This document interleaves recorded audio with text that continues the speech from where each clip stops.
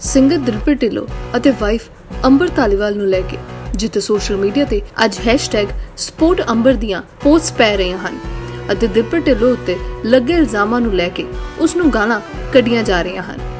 ਇਸ ਸਭ ਨੂੰ ਲੈ ਕੇ ਦਿਲਪ੍ਰੀਤ ਢਿੱਲੋਂ ਆਪਣੇ YouTube ਚੈਨਲ ਤੇ ਲਾਈਵ ਆਏ ਅਤੇ ਰੋ ਰੋ ਕੇ ਅੰਬਰ ਨੂੰ ਇਹ ਗੱਲ ਸਮਝਾਉਣ ਦੀ ਕੋਸ਼ਿਸ਼ ਕੀਤੀ ਕਿ ਅੰਬਰ ਦੀ ਮਾਤਾ ਅਤੇ ਭਰਾ ਇਹ ਨਹੀਂ ਚਾਹੁੰਦੇ ਕਿ ਅੰਬਰ ਦਿਲਪ੍ਰੀਤ ਦੇ ਨਾਲ ਰਹੇ ਜਾਂ ਉਸ ਦੇ ਕੋਲ ਵਾਪਸ ਜਾਵੇ।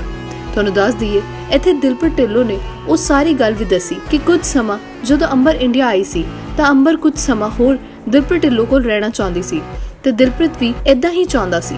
ਪਰ ਅੰਬਰ ਦਾ ਦਿਲਪ੍ਰੀਤ ਢਿੱਲੋਂ ਕੋਲ ਰਹਿਣ ਵਾਲੀ ਗੱਲ ਉਤੇ ਅੰਬਰ ਦੀ ਮਾਤਾ ਨੇ ਇਹ ਕਹਿ ਦਿੱਤਾ ਕਿ ਜੇ ਤੂੰ ਦਿਲਪ੍ਰੀਤ ਕੋਲ ਰਹੇਂਗੀ, ਤਾਂ ਅੱਜ ਤੂੰ ਸਾਡੇ ਲਈ ਮਰ ਗਈ। ਅਤੇ ਰਹੀ ਗੱਲ ਅੰਬਰ ਦਾ ਆਪਣੇ ਇੰਸਟਾ ਅਕਾਊਂਟ ਡਿਲੀਟ ਕਰਨ ਦੀ ਗੱਲ ਤਾਂ ਇਸ ਦੇ ਉੱਤੇ ਵੀ ਦਿਲਪ੍ਰੀਤ ਨੇ ਕਿਹਾ ਕਿ ਕੁਝ ਦਿਨ ਪਹਿਲਾਂ ਹੀ ਅੰਬਰ ਨੇ ਆਪਣਾ ਇੰਸਟਾ ਅਕਾਊਂਟ ਉੱਤੇ ਇੱਕ ਪੋਸਟ ਰਾਹੀਂ ਦਿਲਪ੍ਰੀਤ ਨੂੰ ਕਿਹਾ ਸੀ ਕਿ ਆਈ ਮਿਸ ਯੂ ਅਤੇ 3-4 ਦਿਨਾਂ ਬਾਅਦ ਉਸਨੇ ਆਪਣਾ ਇੰਸਟਾ ਅਕਾਊਂਟ ਹੀ ਡਿਲੀਟ ਕਰ ਦਿੱਤਾ ਅਤੇ ਆਪਣੇ ਵਿਆਹ ਦੀਆਂ ਸਾਰੀਆਂ ਫੋਟੋਜ਼ ਡਿਲੀਟ ਕਰ ਦਿੱਤੀਆਂ। ਇਸ ਸਭ ਨੂੰ ਲੈ ਕੇ ਦਿਲਪ੍ਰੀਤ ਢਿੱਲੋਂ ਨੇ ਇਹ ਸਭ ਕਿਹਾ ਕਿ ਉਹਨਾਂ ਦੀ ਮਦਰ ਇਨ ਲਾਅ ਹੀ ਅੰਬਰ ਨੂੰ ਉਸ ਤੋਂ ਦੂਰ ਕਰਨਾ ਚਾਹੁੰਦੀ ਹੈ। ਪਰ ਇੱਥੇ ਦਿਲਪ੍ਰੀਤ ਨੇ ਉਹ ਲੇਡੀ ਮਾਸ਼ਾ ਗਿਲ ਦਾ ਕੋਈ ਜ਼ਿਕਰ ਨਹੀਂ ਕੀਤਾ। ਜਿਸ ਨਾਲ ਦਿਲਪ੍ਰੀਤ ਢਿੱਲੋਂ ਦਾ ਅਫੇਅਰ ਦੀਆਂ ਗੱਲਾਂ ਸਾਹਮਣੇ ਆ ਰਹੀਆਂ ਸਨ।